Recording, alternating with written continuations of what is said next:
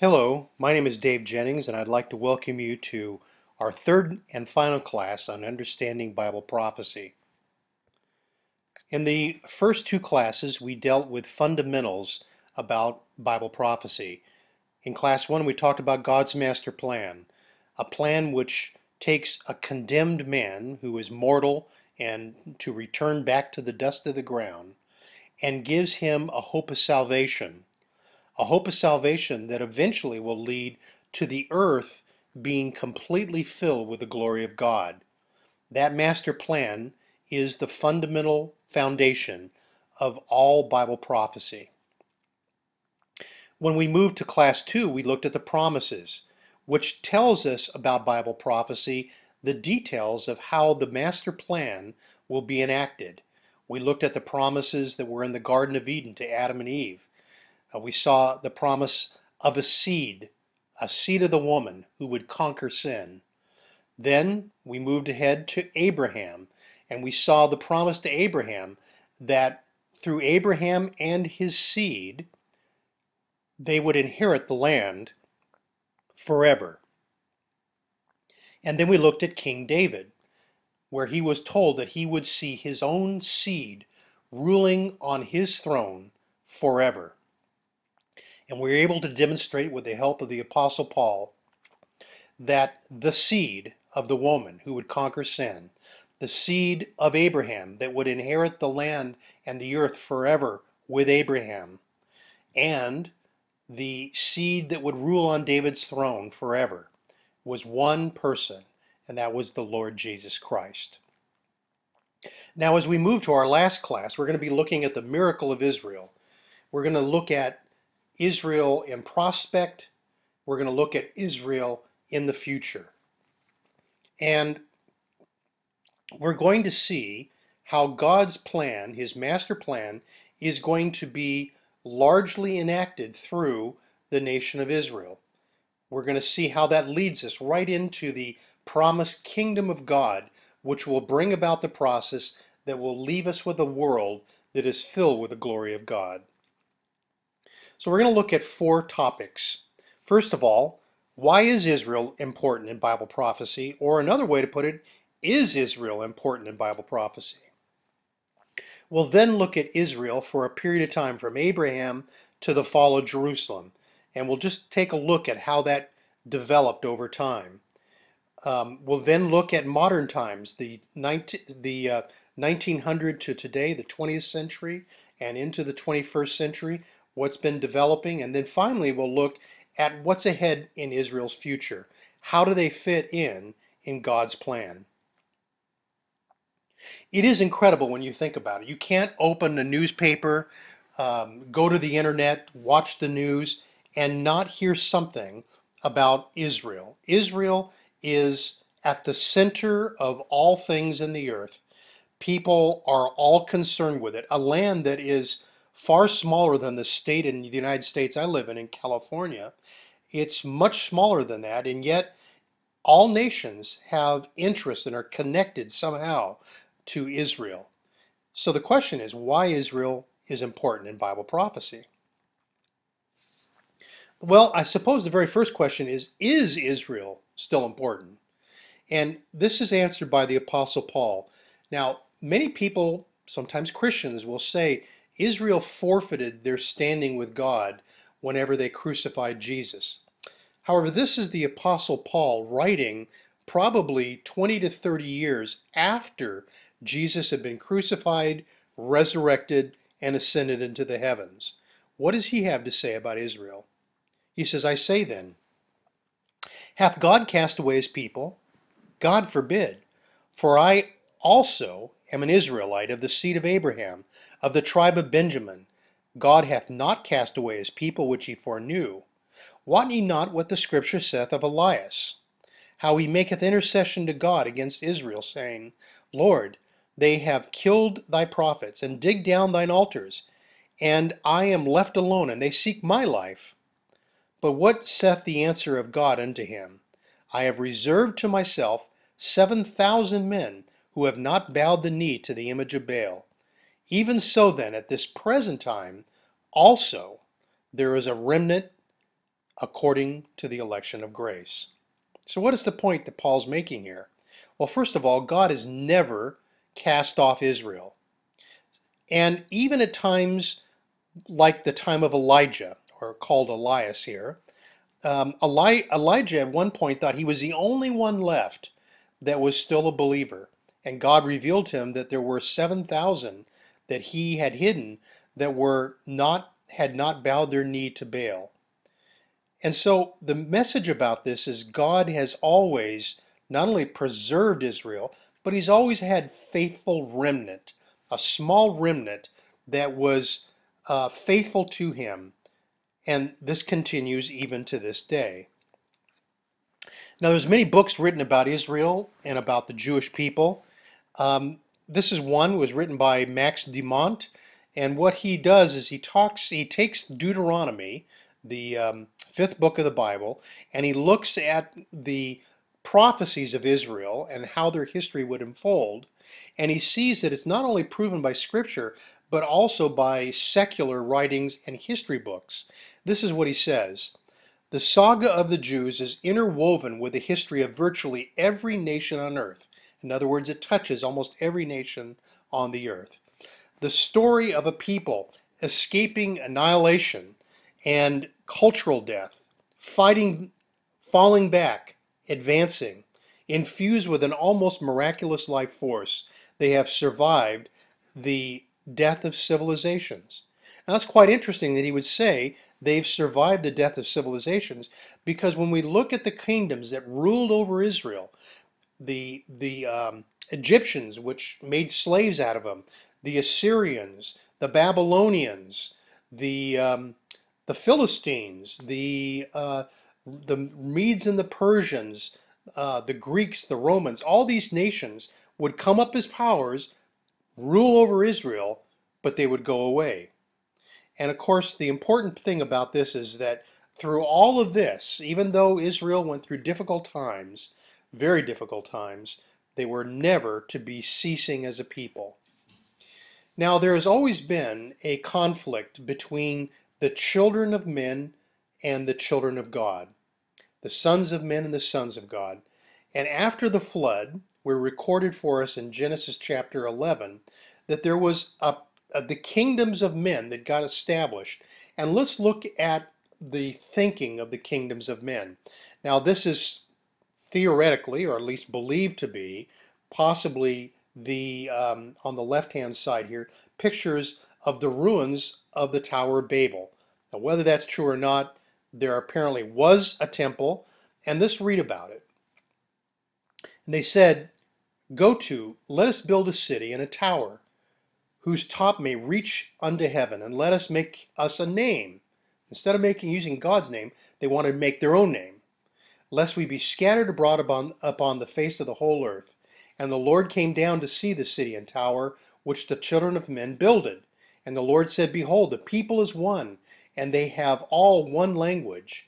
And this they begin to do, and now nothing will be restrained from them which they have imagined to do. Go to, let us go down, and there confound their language, that they may not understand one another's speech.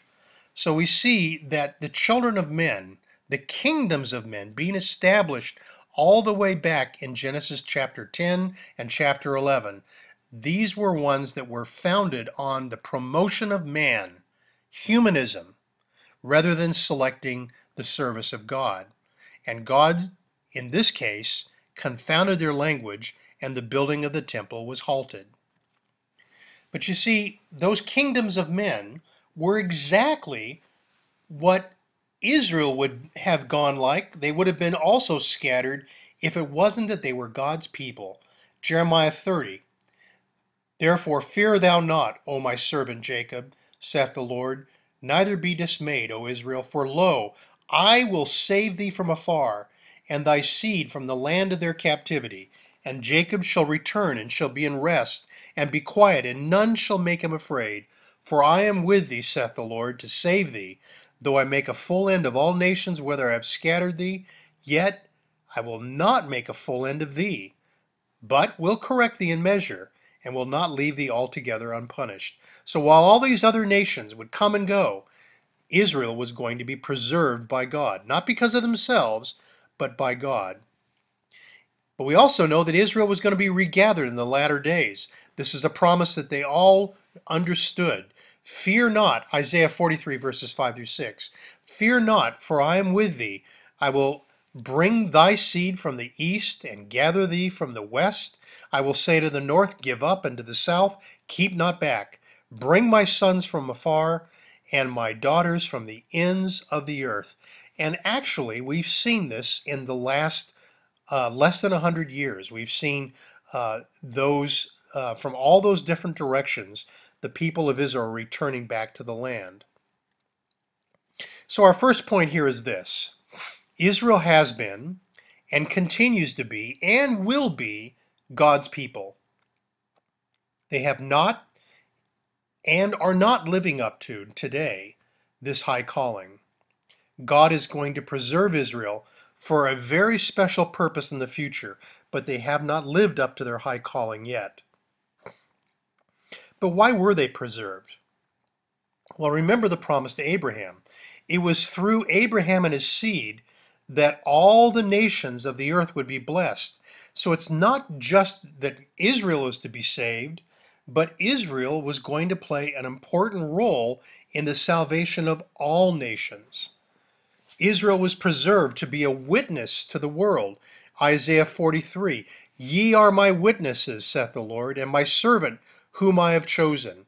At the end he says, I have showed them, I have, sh- I have showed when there was no strange God among you. Therefore ye are my witnesses, saith the Lord, that I am God. So Israel was to be witnesses, not of themselves, not to be boastful, but rather to be witnesses that God is with them. And we see this today in that God has brought Israel back into the land in just the last several generations. So, Israel's selection. Why were they selected? Well, it wasn't because they were the biggest people. He says, You are a holy people in the Lord your God. The Lord hath chosen thee to be a special people unto him above all people that are on the face of the earth. For the Lord did not set his love upon you, nor choose you, because you were the more in number than any people, for you were the fewest of all people. They were actually a people that started by a hundred year old man and a 90 year old woman in a miraculous birth, which was known as Isaac. But this is the high calling of Israel, and this will be the focus of understanding the Bible prophecy about Israel. This comes out of Exodus 19. It was always the high calling that Israel could have lived up to.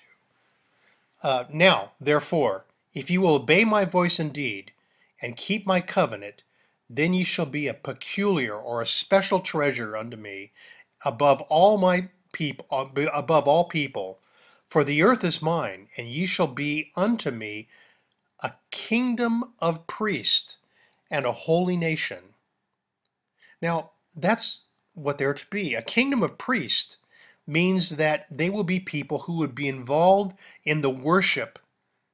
They would be uh, involved in the worship with the nations, and they would be a holy nation, a separate nation. So the way that they were to be was to lead the world in the worship of God and understanding who God is, and to be a holy and a separate people. That was their high calling.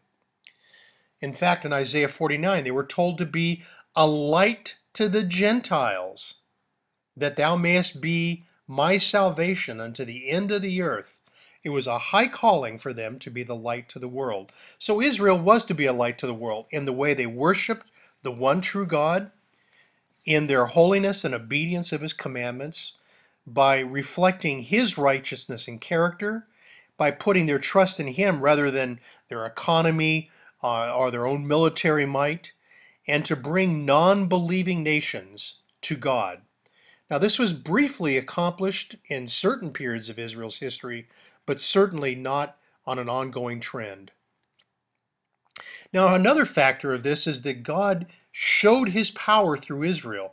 He demonstrated not only to Israel, but to all the nations his miraculous power, whether it be in the plagues in Egypt the opening up of the Red Sea, uh, the conquest of Jericho, in all these matters, God showed his power through the nation of Israel. And it was to not only help Israel to know that he was the God, the only true God, but as we see in Exodus 7 and 9, it was also to be a witness to the Egyptians that they also might know God. And it worked very well because when we get to uh, Joshua coming into the land, to conquest of the land, he, they go to Jericho. And when they go to Jericho, uh, two um, of we have there are two Jewish spies who go in to spy out the land. And when they do this, they go into the city, they meet up with Rahab. Rahab was a harlot that was living in the city. But listen to what she says about how God worked with Israel. I know that the Lord hath given you the land, and that your terror is fallen upon us, and that the inhabitants of the land faint because of you. For we have heard how the Lord dried up the water of the Red Sea. And down at the bottom of this passage, because of you, for the Lord your God, he is the God in heaven above and in earth beneath. So the way that God worked through Israel was something that was taken note by the nations. They were, in this case, in great fear. So Israel's role has been and remains central to God's plan in the earth. Um, they are to be witnesses, to be a light to the nations of the only true God. Now, God's blessings on Israel were conditional. They had to be obedient. But his plan and promises were not conditional. He would never revoke these. And Israel will be redeemed and elevated in the coming kingdom. And they will finally realize and perform the role that God always intended them, which was to be a light to the Gentiles and his witnesses. So, what does it mean to us today? Well, first of all, Israel's continued survival is a witness of God's greatness the fact that Israel is not only a people still, but that they're back in the promised land area, well, that's a witness to us.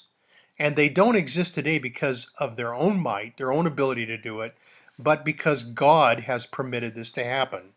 They are our testimony to the world of his power and of his control of the world. And it's therefore a call for all nations right now and in the future to worship the God of Israel. We're going to take a brief history le lesson here from the time of Abraham, about 4,000 years ago, to 70 AD, which was the fall of the city of Jerusalem to the Romans. Well, remember that this nation started with a miracle. It started by the birth of Isaac to a 100 year old man and a 90 year old woman, well beyond childbearing years. But God's nation, it wasn't started haphazardly. It was specifically chosen. Abraham is singled out and he's given the promises. Now, Abraham and Sarah have a son by the name of Isaac. Isaac um, has, after he marries Rebekah, has twins, Jacob and Esau. Esau was the oldest, but does not perform the role of the priest for the family. And so Jacob is the one that the promise goes through. So Abraham, Isaac, Jacob. Jacob himself has 12 sons and one daughter. And we know that those 12, those 12 sons now represent the 12 tribes of Israel and will continue to be referred to throughout uh, the Bible. Now, just a brief history. We started off talking about Abraham uh, again, he lived about 4,000 uh, years ago, about 2,000 years before Christ. And Abraham is talked about in Genesis. Moses is talked about in Exodus, Leviticus, Numbers, Deuteronomy. In Joshua, we have Joshua taking the people from the wilderness after being there 40 years into the promised land and conquesting cities, uh, as an example, Jericho. After that period, the judges arise, and the judges were ones who judged according to the law, but also were in charge of the spiritual development of the nation. First, Second Samuel, First, Second Kings, First, Second Chronicles are all talking about the period of the kings, starting with King Saul, then King David, then Solomon, And then after that, the kingdom was split into the northern and then the southern uh, uh, tribes. Um, the northern being 10 tribes, and the southern being known as the tribe as the, the kingdom of Judah was just two tribes. Well, the Babylonian captivity, um, it happens at the fall of the very last king, King Zedekiah. He was a wicked king, and that was the end of those people ruling over the um, the the throne of David. It it ceases, and for seventy years there's Babylonian captivity, which then is ended when people like Zerubbabel and Joshua, uh, the high priest, and Ezra, Nehemiah, and Haggai and Zechariah, all these uh, prophets are involved in the period of time where Israel goes back into the land while they're under Persian control, rebuilds the temple, and then eventually rebuilds the city of Jerusalem. But after that time, once we get to Malachi, after that time, there are 400 years of silence. There are 400 years where there is no prophet, and that is ended finally when John the Baptist appears in the Jordan Valley. But what happened to them then? See, God had promised a Messiah, a deliverer, a righteous ruler to his faithful children. But God, through his prophets, encourages people to be uh, obedient and faithful, trusting and patient. But they didn't exhibit any of these characteristics. The prophesied destruction came upon them, and Jerusalem was destroyed by Titus in AD 70 when he came in and not only invaded the city, but ended up burning it. And this was uh, the end of the Jews having their own rule or their own presence and occupation of the land. Well, we're now going to sp spend uh, uh, way up to the 20th uh, century, to 1900 uh, until today, and we're going to see what role Israel has played. And this has been exciting. Well, first of all, prophecy declares that Israel has to be in the land. Remember, Israel hasn't ruled over itself since 604 BC, and Israel's occupation of the land ended in 70 AD. But the Bible requires that when Jesus returns, Israel will be back in the land. So a major part of Jesus' work is to save and to redeem Israel. So that's what's been seen since the past century. What has been seen is very significant.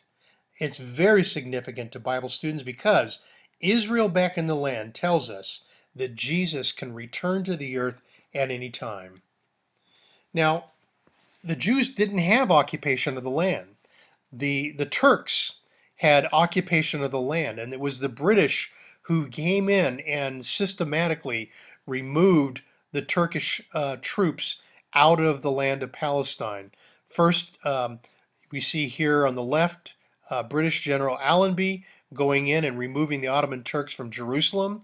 And on the right hand side, we can see the Balfour Declaration being signed on December 2nd, 1917. What this was doing is establishing Palestine as the home for the Jewish people.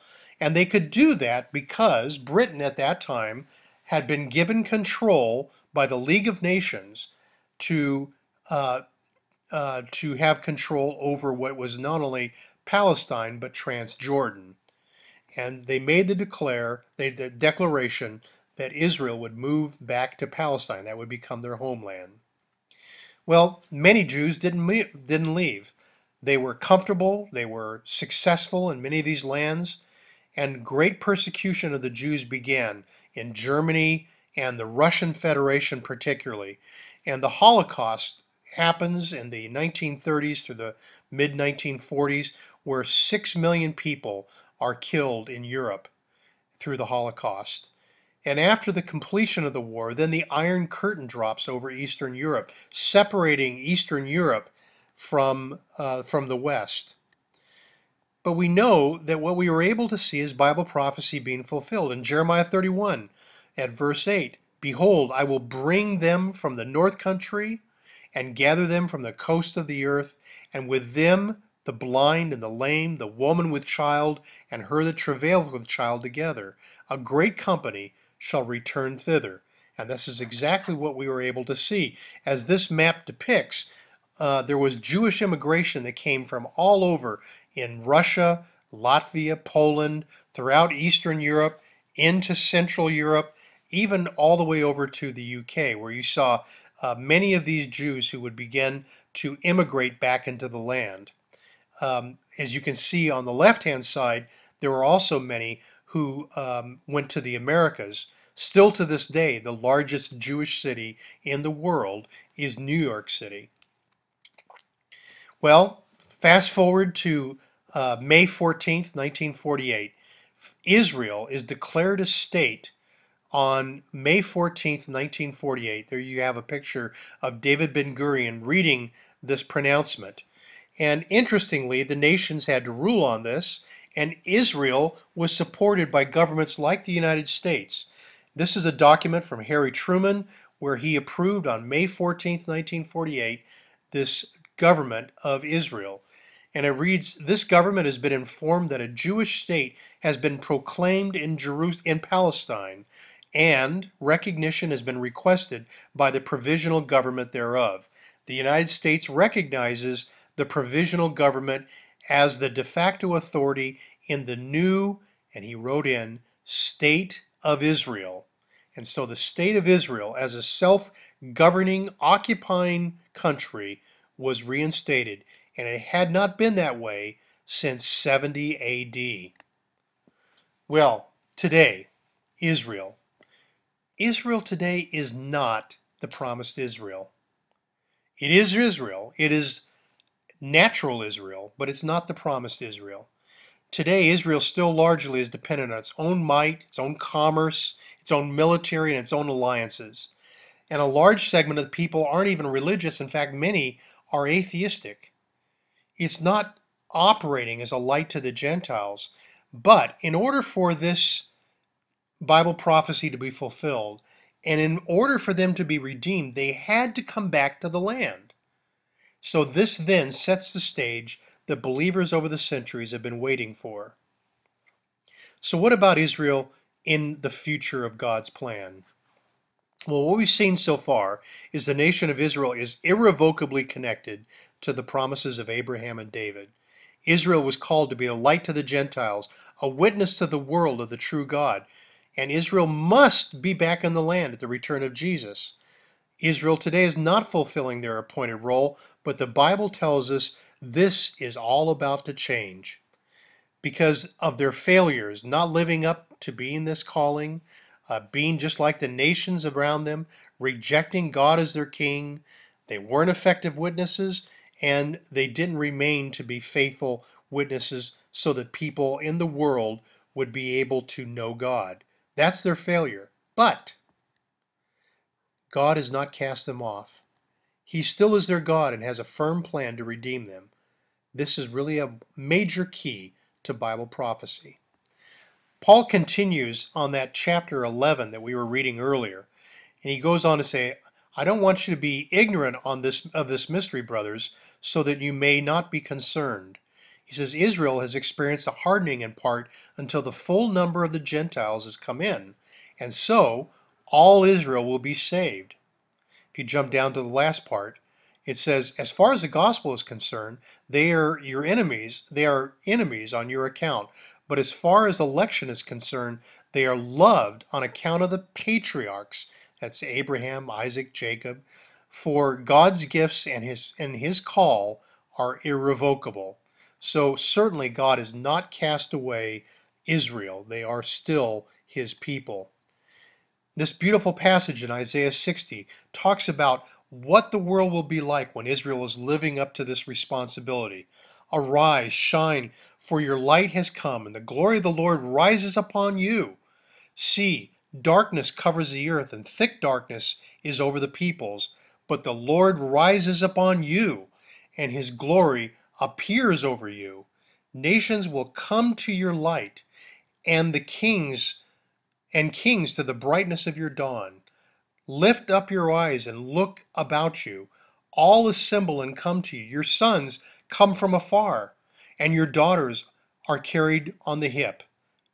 Then you will look to be and be radiant. Your heart will throb and swell with joy. The wealth on the seas will be brought to you. To you, the riches of nations will come. So, this is a view of redeemed Israel where the light of the nations will be shining on them. Ezekiel 37 continues about an everlasting company, uh, covenant that he will set his sanctuary in the midst of them forevermore. And the heathen, the nations, will know that I, the Lord, do sanctify Israel. But what has to change? They can't continue to be a secular nation like now. They have to recognize and accept Jesus. They must become a model to all the nations of a holy people, righteous living, and they must lead the nations in worship and be a kingdom of priests, helping men and women to know God. But the Bible teaching about restoration is pretty clear. God will restore Israel, establish a government under Christ, and provide for worship. And all nations will participate with Israel in the new order of government and worship. And all nations will go up at least annually to Jerusalem to keep the Feast of Tabernacles and to worship. And the plans for that temple and what it will actually look like are provided for us in Ezekiel 40 through 48. But Scripture describes the conversion of Israel, a powerful, uh, a powerful scene is depicted for us in Jeremiah 12, where Israel comes face to face with Jesus, who has come back and delivered them in the last days. In that day shall the Lord defend the inhabitants of Jerusalem, and I will pour upon the house of David and upon the inhabitants of Jerusalem the spirit of grace and of supplications. And they shall look upon me whom they have pierced, and they shall mourn for him as one mourneth for his only son, and shall be in bitterness for him as one is in bitterness for his firstborn. So this will be a difficult time for Israel. They'll get saved by the Lord Jesus from the trials of the last days. But then they'll also recognize that the one that saved them in, indeed was the Messiah, the Messiah that they crucified. But it will be a time which will allow them to be forgiven of their sins, and they will mourn for what they have done. But in Isaiah 52, it says that also all the earth is going to see the salvation of God. The Lord hath made bare his holy arm in the eyes of all the nations, and all the ends of the earth shall see the salvation of our God. Israel will be physically restored. Behold, the days come. This is Jeremiah 23. Behold, the days come, saith the Lord, that I will raise unto David a righteous branch, and a king shall reign and prosper, and shall execute judgment and justice in the earth. In his days Judah shall be saved, and Israel shall dwell safely. And this is his name whereby he shall be called, the Lord our righteousness. So physically, Israel will be restored. They will prosper. They will be at a time of peace and they will dwell safely. You could hardly say that about Israel today. But the rebirth of Israel will largely be spiritual. God will give them a new covenant and as it says at the end of this passage, I will forgive their iniquity and I will remember their sin no more. Even uh, the 12 apostles had a promise that they themselves would be given the rule of the 12 thrones of Israel, uh, of, uh, on 12 thrones and judging over the 12 tribes of Israel. And so, even in the kingdom age, when the apostles are reigning uh, in Jerusalem, they will reign uh, sitting on the throne of, uh, on 12 thrones, judging over these 12 tribes of Israel. So the 12 tribes are being ruled by the 12 apostles. The king will be Jesus sitting on David's throne. The worldwide capital will be in Jerusalem. And Israel, which will be God's peculiar people, peculiar special people, will be restored as the spiritual leaders and witnesses to the nations and the gospel message will be fully realized in Abraham's seed, all the families of the earth will be blessed. And the nations themselves will be redeemed. which will fulfill the promise that was given to Abraham in Genesis 22. In thy seed shall all nations of the earth be blessed. This is what Paul said was the gospel message preached before unto Abraham, saying, In thee shall all nations be blessed. There will be the redemption of the nations. Sing and rejoice, O daughter of Zion, for lo, I come, and I will dwell in the midst of thee, saith the Lord. And many nations shall be joined to the Lord in that day, and shall be my people. What a beautiful view this is of Israel along with the nations serving God. I love this passage because it gives the view of how important Israel will be to the spiritual well being of the nations. Uh, Zechariah chapter 8, verses 20 through 23. Thus saith the Lord of hosts, It shall come yet come to pass that there shall come people and the inhabitants of many cities, and the inhabitants of one city shall go to another, saying, Let us go speedily to pray before the Lord, and to seek the Lord of hosts. I will go also.